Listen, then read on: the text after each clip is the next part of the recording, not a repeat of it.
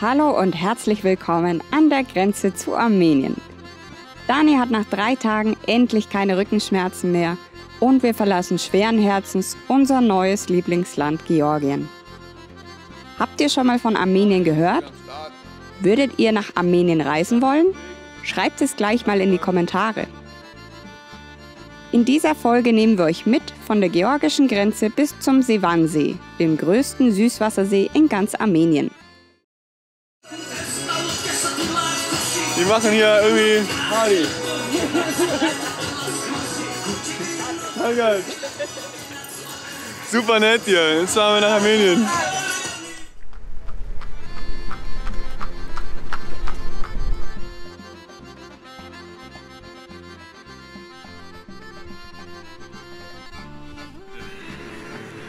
Raus aus Georgien, ab nach Armenien. Also die Ausreise hat wunderbar funktioniert. Jetzt sind wir an der Einreise nach Armenien. Und man muss erst in so ein Nachbardingens, in so ein Zettelchen zeigen, äh, so sein, sein, seine Impfung zeigen und dann kriegt man so einen Zettel. Und der Zettel zeigt, sagt anscheinend, okay, du darfst durch. Da steht das Datum drauf, eine Unterschrift vom Doktor und jetzt warten wir noch drauf, dass sie sich den Zettel angucken und dann geht's gleich weiter. Elli, wo sind wir hier? In Armenien! Woo, da oben steht's. Wir haben es geschafft. Wir sind eingereist in Land Nummer 18.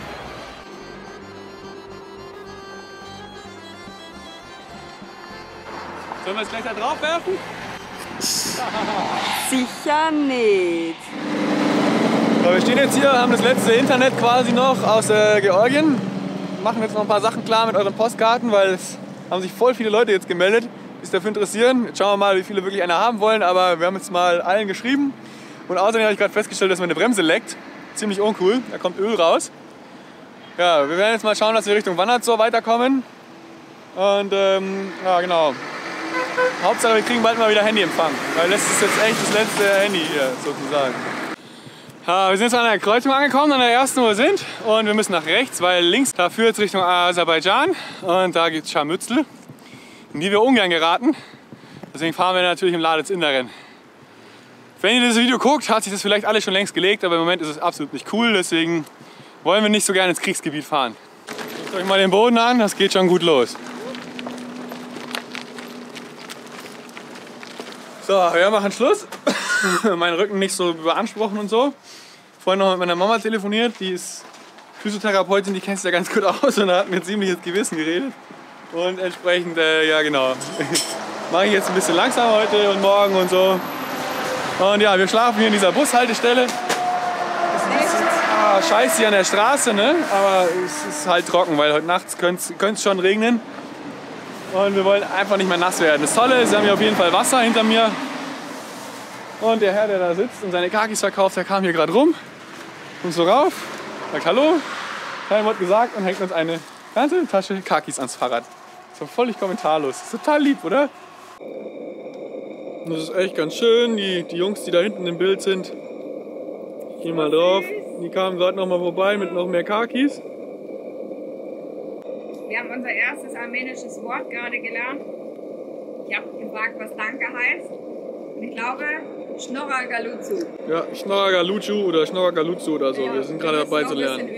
Man fühlt sich immer so ein bisschen ja, äh, verkrüppelt, wenn man in ein neues Land kommt und kein Wort spricht. Ja, das ist ein bisschen schade. Man kann sich das alles vorher im Internet angucken, aber dass man es dann richtig ausspricht, funktioniert sowieso nicht. Man muss es von den echten Leuten hören und genau, der Junge hat es uns gesagt. Nicht nur die Sprache war neu, sondern auch die Schriftzeichen. Ganz anders als in Georgien. Sprecht ihr Fremdsprachen? Wenn ja, welche? Vielleicht sogar Armenisch? Morgen. Hat natürlich gestern noch geregnet. Super klasse, dass wir hier so schön trocken sind unter unserem Sowjet-Kabuff. Und äh, ja, jetzt geht es immer weiter Richtung Wannerzor und ein kleiner Winterhack für euch. Zum Frühstück machen. Stellt eure Schuhe neben den Kocher. Und natürlich Wänden nicht vergessen, damit sie schön trocken werden. Und unser Zeltdach haben wir jetzt mal da drüben über diesen Stein gehängt, damit es äh, hoffentlich vielleicht ein bisschen trocknet von innen. Also ist natürlich von außen nicht feucht oder so, aber von innen halt wegen der Kondenswasser leicht feucht. Ja, so, wo wir gerade fahren. ist Teil der Hauptverkehrsstraße zwischen Tiflis und Jerewan. Muss man sich mal vorstellen. Oh, diese Löcher. Einhändig ist es nicht gerade leichter.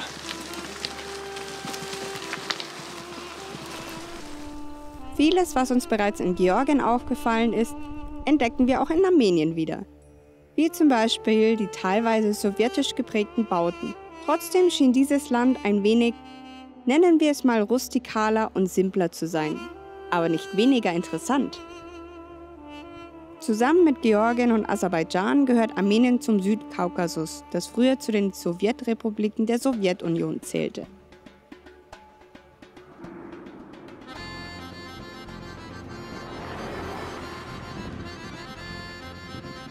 Es wurde hier hergestellt oder abgefüllt oder verarbeitet. Muss irgendwas mit Wasser zu tun haben. Irgendwas hat geraucht. Da oben ist ein Schornstein. Irgendwas wurde irgendwo reingefüllt. Hier. Und dann, ja, keine Ahnung. Wir wissen es leider immer noch nicht. Habt ihr vielleicht Ideen? Schreibt es uns unter das Video. Unser zweiter Tag hier in Armenien und die ganze Zeit, wo wir Radl gefahren sind, habe ich mir schon gedacht, oh, wird ganz schön hart, wild zu zelten. Wo findet man hier den Platz? Weil rechts und links gibt es absolut keine Fläche, wo man versteckt zelten kann. Und ja, man findet aber immer was. Man muss nur die Augen offen halten. Wir machen Schluss für heute. Und das hier wird unsere ja, äh, Schlafplatzmöglichkeit für heute. Das mit dem Wasser ist auch ein bisschen tricky. Wir haben nur zwei Quellen gefunden, die funktionieren. Außerdem haben wir gelesen, dass das Wasser hier nicht sehr gut sein soll. Also man sollte es filtern oder Wasser kaufen. Ähm, wir werden es erst einmal eh abkochen, sind mal gespannt, ob es trinkbar ist. Es sieht ganz gut aus, sind keine Teilchen drinnen, aber ja. Zelt steht, die Sachen sind drin, die Schlafsäcke sind ziemlich klamm. Was ein Problem ist, Melly, tu mal die Sachen von deinem Schlafsack runter, der muss sich auf, aufdehnen. Und äh, ich habe auch schon fleißig Holz gesammelt hier und daneben einen Ofen gebaut, damit wir den Leuten hier ihren Boden nicht kaputt machen. Ich glaube, das wäre scheißegal, weil das ist eh eine Ruine, aber trotzdem, wer weiß, haben wir so ein, Brett, so ein, so ein Metall genommen, dann können wir morgen die ganze Asche da runterschmeißen. Und ja, mit Dachziegeln und so weiter habe ich das jetzt hier ganz gut gedämmt. Hier in der Mitte hat es so ein komisches was auch immer Ding. Ich habe keine Ahnung, was es sein soll. Keine Ahnung. Ihr könnt ja mal kommentieren, was ihr glaubt, das ist. Fischtank oder was weiß ich was. Vor allem, wozu dieser Steinhaufen in der Mitte sein soll mit dem Spieß. Ja, genau. War gerade eben schon ein Typ da, der so, ah, was macht ihr? Und hat unser Zelt gesehen, ah, wie cool, hey, super, Daumen hoch. Ist er gegangen. Besonders wichtig beim Fahren im Winter ist Feuchtigkeit. Man muss trocken bleiben. So, und selbst wenn es nicht regnet, schwitzt man und man schwitzt sich die Kleidung nass. Wenn man dann abends ins Zelt will, gibt es entweder die Option, dass man einfach trockene Kleidung anzieht, wenn man es hat. Dann äh, hat man allerdings das Problem, dass am nächsten Tag die Kleidung, die nass war, immer noch nass ist und dazu auch noch kalt. Also es ist keine Option.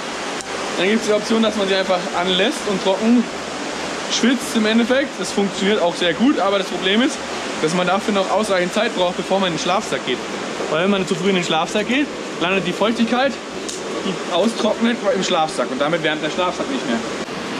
Genau, wir fahren jetzt hier quasi bei Mellis Radlose an. Wenn die trocken ist, tut sie sie runter, zieht das nächste Teil drüber. Das wäre dann quasi ihr Trikot hier. Das hält sie runter, hält den Rest hoch, bis es trocken ist. Und dann das nächste und das nächste und das nächste, bis alles hinten trocken ist. Und dann wird gewendet. Damit der Schlafsack quasi die Feuchtigkeit vom Schweiß her nicht dann am Schluss aufnimmt und dann funktioniert die Daune nicht mehr. So, und so sieht es dann aus, wenn wir unsere feucht nassen Sachen trocknen. Hier über diesem Feuerchen. Das ist passiert, so wie es immer passiert. Da kommt vorhin, als ich Feuer gemacht habe, eine Besitzerin von der Hütte und war der Meinung, äh, wir dürfen kein Feuer machen. Und ich so, oh scheiße, okay, dann mach ich's aus. Und dann sie so, nein, nein, nein. Ich darf nur nicht dieses Holz benutzen, was ich benutzt habe, weil ich habe das Holz, diese Hütte hinter mir. Seht ihr die? Ja, genau, diese Hütte. Die habe ich so ein bisschen auseinandergenommen, weil ich meine, schaut euch mal die Hütte an, da ist Schluss. Da fehlt alles. Und ähm, dann hat sie mir anderes Holz gezeigt, was sie benutzen darf, und dann durfte ich Feuer machen. Okay, wunderbar, dann vergeht eine Stunde oder so, wir trocknen unsere Sachen. Und dann kommen doch, echt, da kommen da vier, vier Jungs an, so in unserem Alter. Und die essen in der anderen Hütte, in der großen Hütte, die ihr dahinter seht, diese große mit dem weißen Dach. Und ähm, äh, ob wir nicht vorbeikommen wollen, Chacha trinken. Ihr kennt es aus Georgien. Hier heißt Chacha was anderes. Ich habe es gerade erst gelernt, ich habe es wieder vergessen, ich habe es aufgeschrieben. Und ähm, genau, End vom Lied ist, dass wir jetzt bei denen da drin hocken und mit denen zusammen Abendessen. Wir haben unser Essen mit reingenommen und so. Sie essen von unserem Essen und wir essen von denen ihrem Essen. Wir lernen unser erstes Armenisch. Und es ist einfach so ein schöner Austausch, weil es ist so. Wir dachten, oh, wir, wir gehen jetzt ins Bett, wir trinken vielleicht ein Bier oder zwei und dann, dann gehen wir schlafen, weil wir sind eh müde. Und schwuppdiwupp passiert es halt wieder ganz mal anders. Ne? So völlig anders, als man denkt. Und genau so ist es wieder passiert. Und das sind die Sachen, die diese Reise so unglaublich liebenswürdig und, und so lebenswert machen. So schön und besonders. Weil, ja, keine Ahnung, sowas wie jetzt, das können wir auch nicht filmen. Ich möchte da drin nicht die Kamera rausziehen und den Leuten dann ins Gesicht halten. Das, manchmal geht's, manchmal geht's nicht, aber im Moment geht's halt nicht. Ähm, ja, und die sind so lieb und so. Ich meine, wow, Leute, so unglaublich. Ich zeige euch noch mal kurz unseren Stand hier. Da schlafen wir und da gehe ich jetzt wieder rein und ich werde es euch berichten. Wir sind schon eigentlich wieder ready zum Weiterfahren. Hier drin hatten wir eine sehr lustige Nacht gestern. Und zwar sind hier noch die Besitzer vorbeigekommen. Und man sieht es hier schon, die machen also wie so eine Abfüllanlage und hier füllen die Eiskaffee rein und äh, verdeckeln das und alles hier in der Maschine. War richtig lustig. Wir haben unsere ersten armenischen Wörter gelernt und wir hatten hier Abendessen zusammen. Also wir hatten schon was gekocht und die haben was mitgebracht wir haben alles miteinander geteilt und es gab Schnaps. Ja. oh, meine Fresse. Irgendwann wurde es dann kühl und dann zieht er plötzlich diesen Flammenwerfer raus in der Ecke. Hier dieses Teil und dreht es voll auf und plötzlich ist es hier drin super warm und alle lachen. Super, ey. Also, ja, wir haben da draußen trotzdem gezeltet wärmen wir noch schnell hier ein bisschen auf und dann äh, so weg. Sieht super aus hier. Umgeben von diesen riesen Bergen.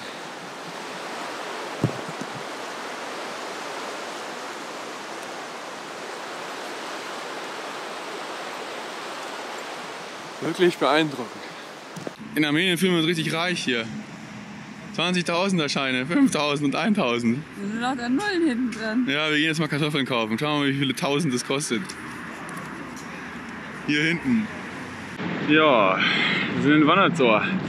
Ich muss mal wieder so oft mit dem Handy filmen, weil die GoPro einfach nicht funktionieren will. Das Ding geht nicht an und die letzten ganzen Clips hängen sich dauernd auf. Das Bild friert ein. Es ist ein Drama, aber bald lösen wir es hoffentlich. Wie auch immer, das hier ist Wannerzor. Wir sind auf 1320 Metern. Schauen wir mal, wie sich das Wetter entwickelt. Wenn es nämlich nicht so geil wird, dann bleiben wir hier. Und naja, aber morgen wird schön. Wir sind jetzt durch Wannerzor gefahren. Ich habe hier auf der Karte den Park entdeckt. Und es ist echt krass hier. Wird renoviert, so in der Art. Die Wege sind alle aufgerissen. Wir suchen jetzt einen Unterstand, wo wir bleiben können, weil es fängt schon an zu regnen. Ich habe was gefunden. So eine Art Zirkuszelt. Ziemlich abgefahren. Hier gibt es nur einen, so eine Brücke, einen Eingang. Und hier unten sind dann wohl die Krokodile oder so. Das ist abgefahren. Ja, da ist wahrscheinlich Wasser drin. Aber ist schon äh, krass hier. Ziemlich cool. Komm rein, Fiepsel. Hier ist trocken. Das sieht nicht nach Zirkuszelt aus, oder? ich freue mich so. Es ist so arschkalt draußen. Und wir waren ja hier gerade in dem Zirkuszelt unterstand. Und da konnte man aber nirgendwo irgendwie aufs Klo gehen richtig. Ähm, das Klo ist gar nicht so wichtig. Naja, für, es war super kalt und, und, für mich war jetzt das Klo nicht so da und Feuer konnte man auch nicht machen. Und ohne, ohne Feuer, wir haben ja gestern schon erzählt, äh, ja, kriegen wir es nicht trocken. Die Schlafsäcke sind ja immer noch nass. Und da haben wir uns gedacht, hey komm, schauen wir mal, ob es hier bei Airbnb was gibt. Und dann war tatsächlich was, dann haben wir ein Budgetzimmer, haben wir ausgemacht und sind dann hier angekommen, ist richtig kalt, haben dann auf den Besitzer gewartet. Er hat gesagt, fünf Minuten, der kam dann nach einer Viertelstunde. Aber jetzt haben wir kein Budgetzimmer bekommen, sondern das hier als Entschädigung. ein- Die einzigen Gäste, ja, weil voll. es ist halt sonst keiner da und eigentlich haben wir das Zimmer mit Stockbetten, Ja. ähm, was wirklich ist so, so groß wie ein, ja, wie so Ist eine nicht groß. Vorratskammer. Aber- Aber wäre voll okay gewesen, aber wir kriegen das hier. Ja, und sogar Föhn ist dabei, ist richtig geil. Oh Mann. Oh, mir geht's richtig gut und mir wird schon innerlich warm jetzt und ich freue mich auf die Dusche und das ist auf jeden Fall, ähm, glaube ich, viel cooler heute hier drin als in einem Zirkuszelt. Ähm, wir haben ja noch äh, Nächte genug, wo wir so einen Spaß machen. Sisi. Wir sind am Start und weiter geht's. Raus aus Wanderzor. Geschlafen. Und heute geht's halbe Strecke zum Seewandsee. Morgen vermutlich am Seewandsee ankommen. Hier gibt's extrem coole Gasbusse. Die haben auf dem Dach diese Taucherflaschen. Und da ist Gas drin. So richtig oldschool. Super cool. Funktioniert bestens. Da oben liegt schon Schnee. Mindestens auf knapp 2000. Es hat super aufgeklärt hier. Die letzten Tage waren nicht so schön, aber zwar trocken halbwegs. Aber jetzt geht es für uns gleich wieder bergab. um dann da hinten, die Berge, die da ganz hinten sind, wieder hochzufahren. Mal eine Frage an euch. Radelt ihr lieber den Berg hinauf oder bei Gegenwind im Flachland? Wir sind gespannt auf eure Antworten. Solche Läden sind es, die, also die wir gerne suchen, die ich euch auch ans, Herz lege. Es ist alles klar ausgestellt, die Preise sind fix. Und ähm, ja, es sieht aus, als wäre es gut besucht, weil sie hat da drin ordentlich was. Ist auch gescheit abgedeckt, so. Es gibt so fertig geröstete Kartoffeln und wir haben jetzt für 2000 eingekauft. 2000 sind, ähm, also fünf, der aktuelle Kurs liegt bei 550, also irgendwas vielleicht mit 3 Euro. Jetzt schauen wir, dass wir irgendwo noch einen Wein herkriegen und dann hauen wir uns irgendwo hin, essen was. Weil die Sache ist nämlich die, hoch zum Seewansee sind 800 Höhenmeter. Und das glaube ich nicht, dass wir es heute noch schaffen. Und auf dem halben Weg zelten finde ich scheiße, weil es ist halt Serpentinen und so und da wird es bestimmt nichts geben. Also bleiben wir lieber hier und machen morgen alles in einem Stück. Glaube ich. Bis jetzt. Mal schauen, das kann sich ständig ändern. Schätz mal, wie schnell ich gerade war. Oh Gott, 65, Nein, schneller. 38, 75, ja, neuer Rekord. Geil, oder?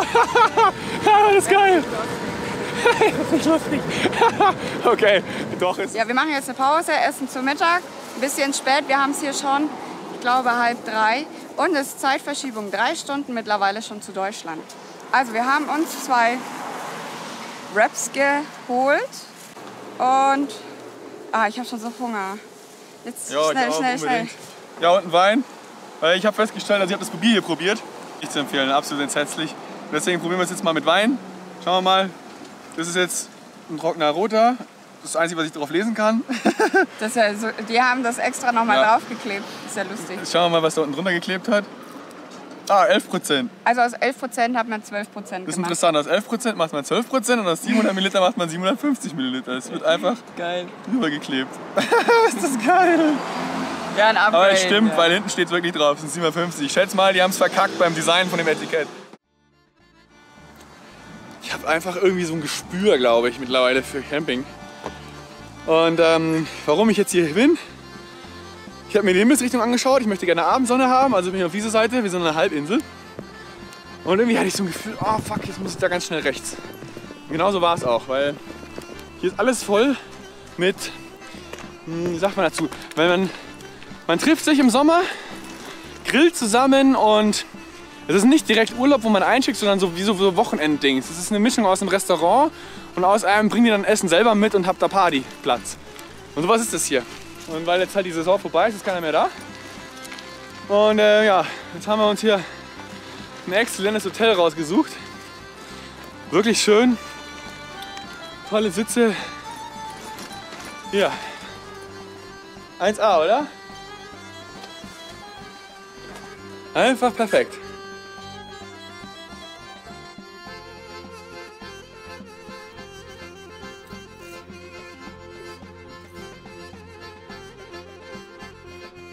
Unser Schlafplatz liegt direkt am größten See von ganz Armenien, dem Sevansee. Er liegt auf etwa 1900 Metern über dem Meeresspiegel und ist 940 Quadratkilometer groß. Wir haben beschlossen, wir machen heute einen Pausentag, weil Armenien hat schon ziemlich viele Höhenmeter zu bieten. Also es geht immer wieder bergauf und bergab und bergauf und bergab. Und ja, die Sonne scheint, wir sind direkt am Seewansee und ich glaube, ähm, das ist der perfekte Tag, um einfach mal einen Nicht-Radeltag einzuleiten. Genau, außerdem kommt der Thibaut vorbei. Den werden wir jetzt seit sehr lange Zeit nicht mehr sehen. Der wird wieder zurückgehen nach Georgien und dann nach Hause trampen, um seine Familie zu besuchen, weil es ist das letzte Mal jetzt hier, ähm, dass er Weihnachten woanders hatte, es war Türkei und jetzt möchte er es doch mal wieder zu Hause haben. Also werden wir uns wahrscheinlich erst wieder nach dem Iran sehen. Heute kochen wir auf dem Feuer und zweimal hier. Also ein Kilo Nudeln und eine ganze Packung Soße, das reicht auf jeden Fall für uns drei. Endlich essen.